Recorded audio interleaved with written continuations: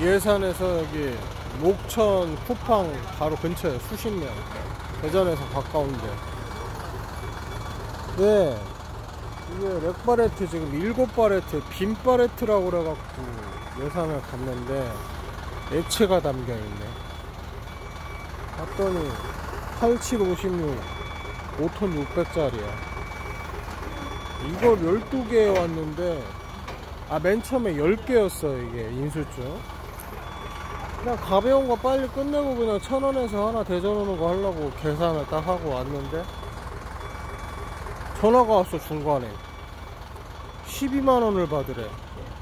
그러더니 지가 2만 원을 똥을 띄는 거야. 결국은 10개 똑같아 나는. 뭐, 아니 뭐가 됐든 어차피 뭐 10개니까는. 노란데 죄송한데 이거 오르막 때문에 포트가 좀 무거워가지고 위험해서 이쪽으로 수 일로 그냥 일로 반드시 일로 뺄게요 그냥. 아, 네네. 예, 예, 앞으로 아. 앞으로 그대로. 2천원 빼버릴게. 그래가지고 왔어. 왔는데? 아니 씨발. 액체가 담겨 있네? 오요 그래갖고. 이거 아닌 것 같다고 해서 전화를 했더니 그리고 주소도 원래 천안인데 무슨 화성이요 또.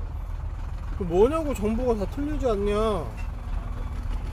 전화를 해보겠대 지가 회사에.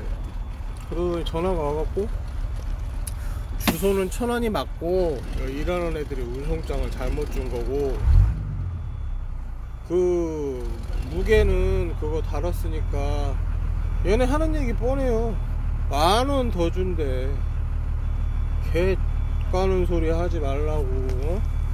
내가 이걸 왜 실어? 난 익스프레스 차라 무거운 거 절대 안 싣는데 그리고 이걸 싣고 만 원을 더 받아 뭐 하는 거냐 했더니 다른 기사들은 다 그렇게 한대 또. 내 이 바닥 뜨고 싶은 이유가 도대체 이 바닥에는 다 돌대가리하고 다 개 그지들만 있는 건지 뭔진 모르겠는데.